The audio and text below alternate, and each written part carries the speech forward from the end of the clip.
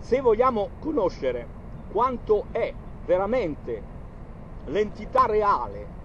della sezione elettromagnetica, noi dobbiamo partire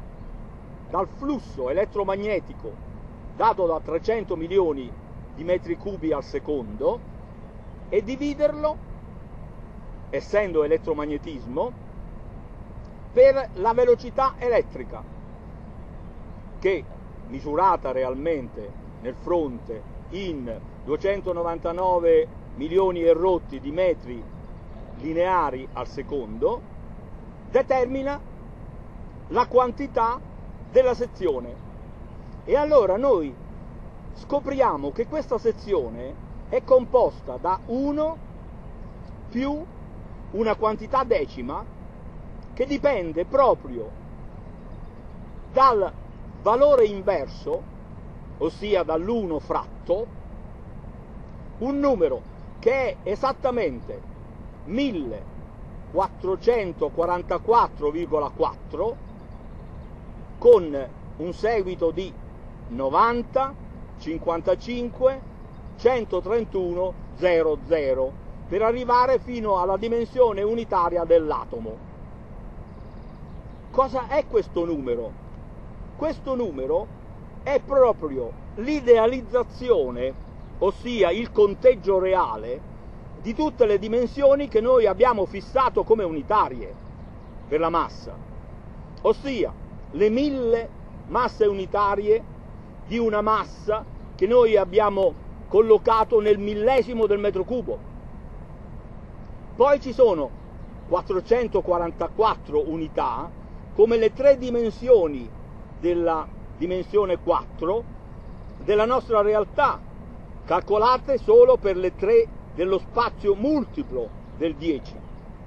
mentre invece l'unità tempo è ancora un 4 calcolato nella dimensione del decimo del tempo. Poi seguono 90 quantità millesime come tutte quelle dell'energia appartenente a una unità che si sposti in tutto di 9 nel ciclo 10 e che valga quindi 90 laddove nel piano 100 c'è un 10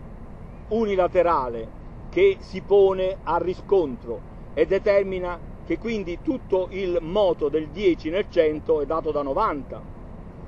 poi abbiamo un 55 che considera uno dopo l'altro, degradanti in dimensioni decimali, le due componenti a indice 5 e 5 sia del moto elettrico sia del moto magnetico. Quindi abbiamo un 131 seguito da due zeri, ossia un 1310 al livello dell'unità dell'atomo, in cui ancora una volta abbiamo le mille unità della massa, poi abbiamo 3100 in cui 3000 sono tutti i 3 per 10 al cubo metri dell'unità elettromagnetica e infine c'è un 100 che è il contenuto totale della sezione trasversale massima e unitaria data da 10 per 10. Quindi il numero dato da 1444,4, 90, 55, 131 e 00 fino alla dimensione unitaria atomica è il nostro modello dinamico unitario. Nel suo valore inverso, perché noi siamo sempre a osservare una, una realtà relativa al valore inverso, in questo valore inverso noi determiniamo un, una quantità che facendo la divisione di 1 diviso 1444 erotti ci determina esattamente lo 0,0006922 erotti che uniti alla dimensione unitaria di un metro quadrato determina la sezione reale che è quella che doveva essere perché è quella che poi moltiplicata per la velocità elettrica determina essa solo il flusso di 300 milioni di metri cubi al secondo, il cui flusso ideale è lo stesso numero, ossia 300 milioni di metri al secondo, solo quando la sezione unitaria è quella ideale posta come 1 al quadrato e non come quella reale posta come 1,0006922 rotti che noi abbiamo visto e che abbiamo riscontrato. Quindi risulta molto evidente e confermato che la fisica, quando ha definito nella relatività generale E uguale mc2 una massa reale considerata solo nel suo quantitativo bloccato di energia, che poi si muove solo per la velocità reale, in un verso solo della luce, non sta considerando la quantità di quell'energia che è stata bloccata nella massa e quindi non determina il valore davvero assoluto. Da questo deriva la impossibilità di unificare la fisica. Perché, amici miei, quando noi partiamo da un non rispetto dei valori unitari, noi non capiamo proprio più assolutamente nulla. Il valore unitario che si muove è sempre dato dai mille metri cubi,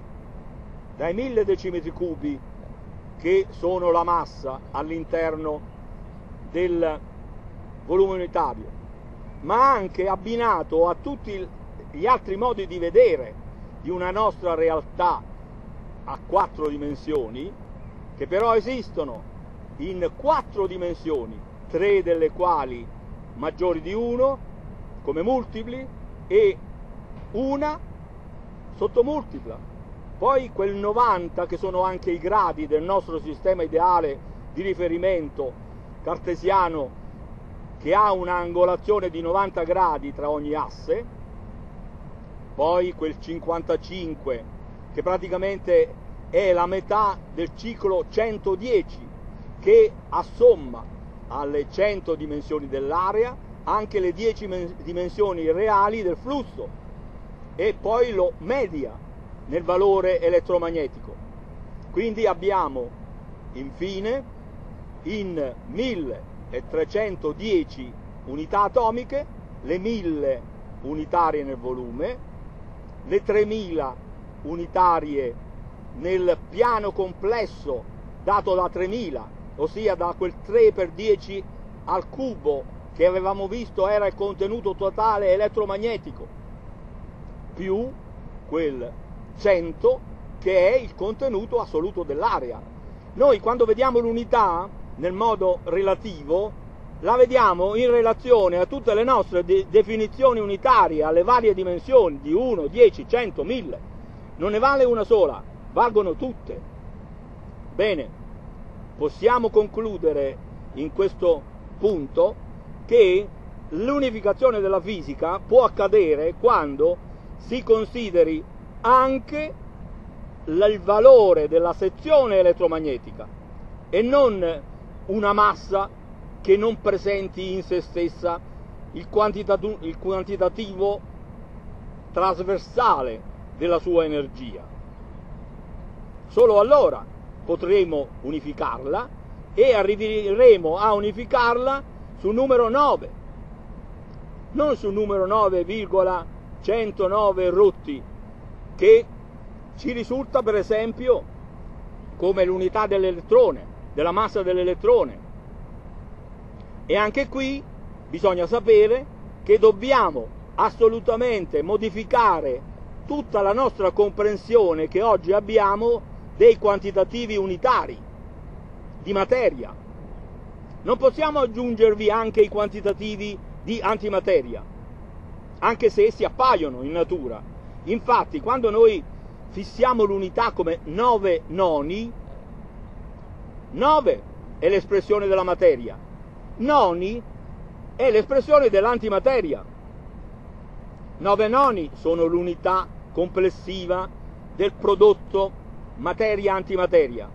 Ma quando noi ne abbiamo una visione unilaterale e ridotta solo alla massa materiale, essa è 9 in virtù del valore 9 alla meno 1 dell'antimateria.